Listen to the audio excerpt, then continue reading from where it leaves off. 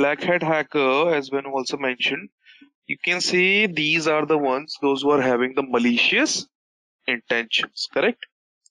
Those who are doing it for their own personal gains. Make sense? Whereas, if you talk about white hat hacker, if you're talking about white hat hacker, when I was discussing about a pen tester, where will you put your pen tester? In which team? In which hat? White hat, right?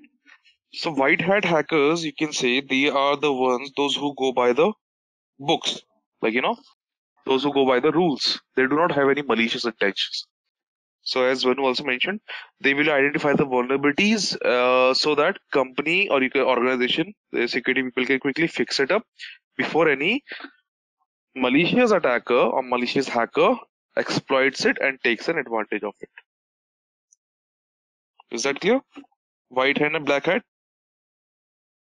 So those testing which we discussed, no mm-hmm. black box, white box testing, gray box testing, those testings are done by your which hat hacker? Your white hat hacker.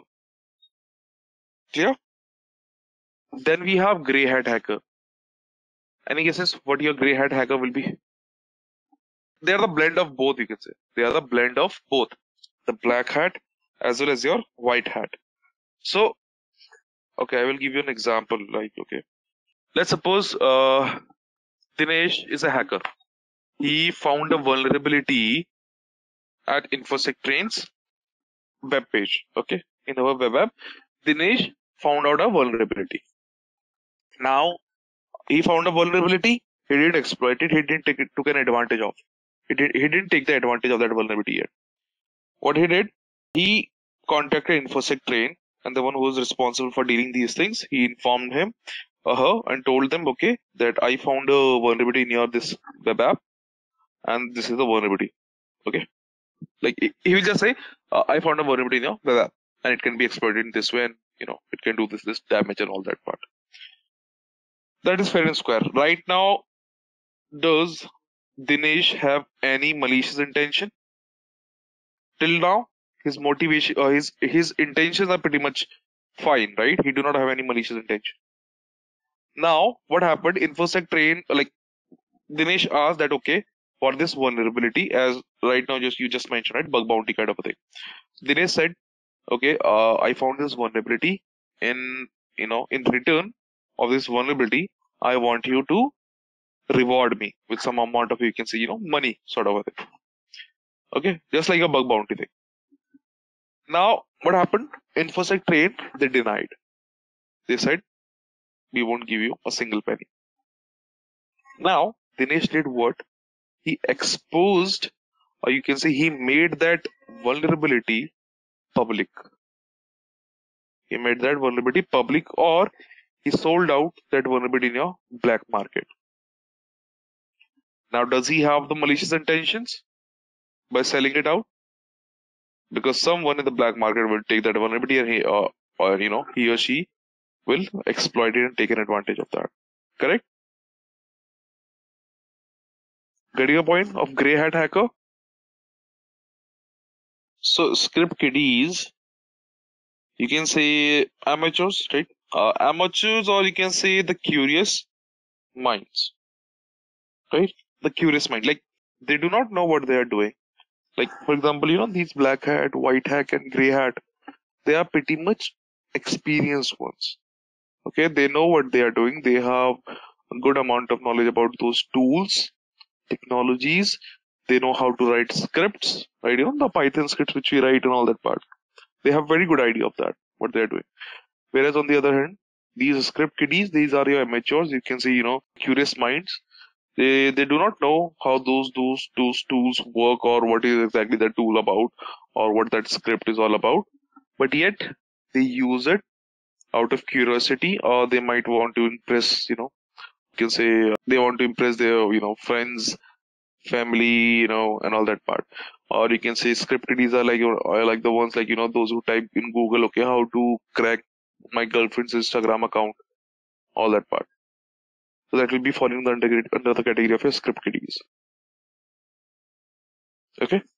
Then we have hacktivist. What is a hacktivist? that hacktivist you can consider hacker plus activist, right? Those who have some political agenda, or those who have this, you know, goal, or those who are trying to be a, become a voice and want to spread out, a, you know, it out to the entire world. I have this example, like you know, you might have heard about that Black Lives Matter that went, you know, huge in America. Black Lives Matter. Anyone heard about it? Correct.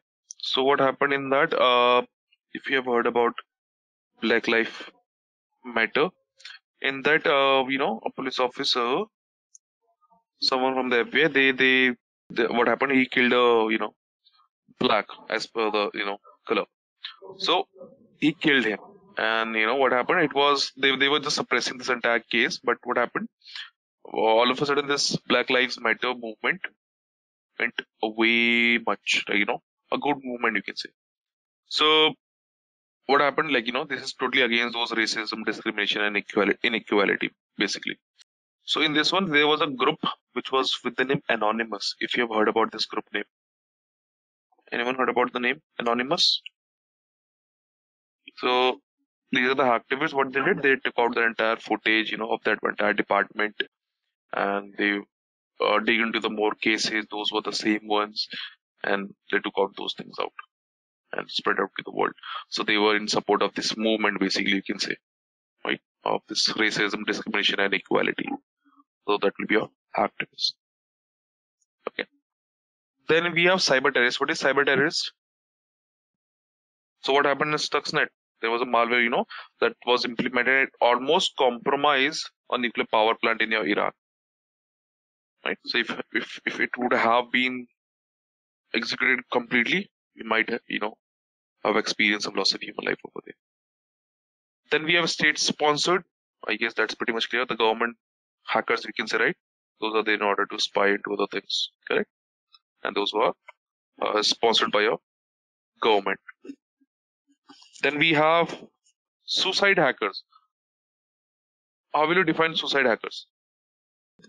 Suicide hackers, like, you know, they know what they are doing, they know what the outcome will be, but still they will make that call. Right? Like, you know, they know if they got caught, so, you know, life imprisonment might be there or huge penalty will be there, but still they are gonna do that they will be termed as your suicide hackers. Clear everyone?